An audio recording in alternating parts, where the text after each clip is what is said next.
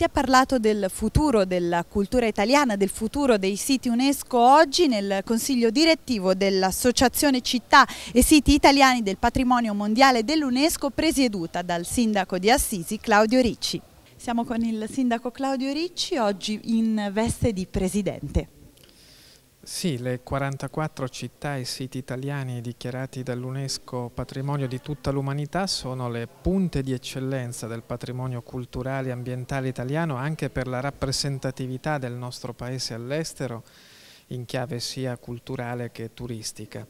Le nostre numerose attività si fondano su tre filoni principali. Il primo è la ricerca di risorse attraverso la legge 77-2006 ma anche attraverso fondi europei da destinare ai siti italiani patrimonio mondiale UNESCO. Il secondo filone sono programmi appunto per la valorizzazione culturale e turistica e il terzo ambito dei nostri interventi è il comparto educativo per la trasmissione alle future generazioni dei valori legati ai beni culturali e ambientali ma anche per eh, sollecitare le persone che abitano nei siti ad acquisire la consapevolezza che si trovano in un patrimonio che appartiene a loro ma anche appartiene a tutta l'umanità. Ed in merito a questo patrimonio che spesso è locale e poi mondiale, ha parlato nel corso dell'incontro con le città gemellate di Betlemme anche del valore da tramandare attraverso l'UNESCO del presepe, un'iniziativa nuova. Il presepe è tra le candidature per la lista del patrimonio immateriale. Dal prossimo anno questa lista si attiverà, oltre alla lista dei beni materiali, culturali e ambientali che nasce a Parigi nell'anno 1972, dal prossimo anno si attiverà definitivamente la lista dei patrimoni immateriali, orali e intangibili.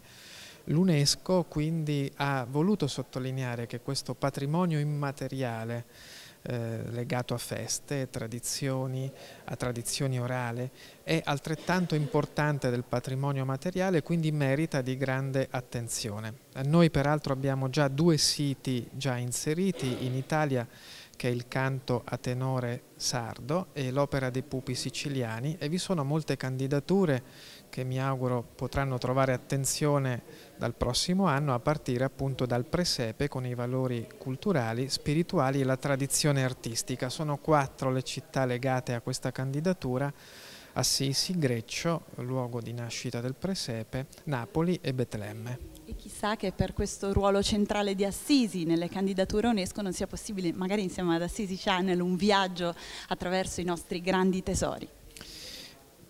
Per la verità quello di eh, attivare una web tv e anche una rete televisiva satellitare dal titolo Siti UNESCO Channel, anche coinvolgendo la sede UNESCO di Parigi, è uno dei programmi che stiamo cercando di realizzare. Vale a dire la cultura è cultura anche e soprattutto se veicolata. Eh, comunicare eh, e soprattutto eh, la comunicazione che significa poi nella sua etimologia del termine condividere è uno degli elementi più importanti. Eh, credo che spesso si parla dell'importanza dell'informatica da insegnare ai nostri ragazzi, dell'inglese, mi sembra che sia arrivato il momento anche di curare molto la capacità di comunicare, perché poi sapere ma non saper comunicare è come non sapere. Siamo con Bruno De Luca, sindaco di Alberobello, Alberobello ed Assisi, due città apparentemente molto lontane ma unite dal grande patrimonio UNESCO. Ci parli del patrimonio del suo comune? Eh sì, Alberobello è una città diciamo, che non ha la storia di Assisi sicuramente, risale ad appena cinque secoli fa. Eh, nel 1400, nel XV secolo, era ancora il nostro territorio ricoperto da una grande foresta di querce che si chiamava diciamo, cioè questo toponimo eh, si ritrova per la prima volta in un documento ufficiale medievale eh, Silva Autnemus Arboris Belli, Silva o bosco dell'albero della guerra, perché l'etimologia del nome della nostra città è albero della guerra, nel senso di bellum belli latino insomma. E, quindi diciamo una città completamente diversa da Assisi. Ovviamente la caratteristica eh, particolare eh, sono queste costruzioni che sono uniche, i trulli, i famosi trulli, eh, che erano completamente costruiti a secco, senza fondamenta con queste eh, chiancarelle sovrapposte, eh, giustapposte una sull'altra a forma di cono, di cui si ha traccia mm, nell'area del Mediterraneo anche in tempi antichissimi. Probabilmente diciamo, la prima costruzione eh, a forma di trullo dell'antichità è la Tolos di Atreo a Micene, la tomba insomma, del mitico eh, Atreo.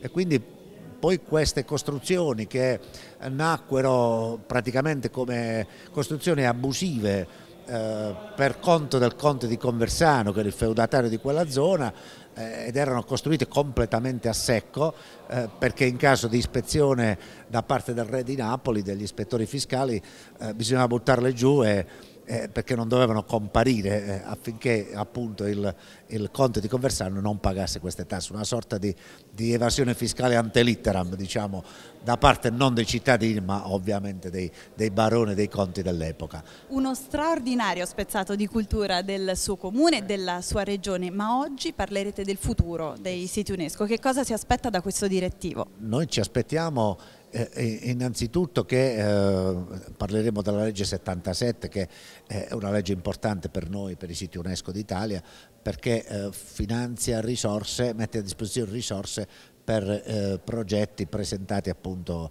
dai comuni, dalle, dai siti UNESCO italiani.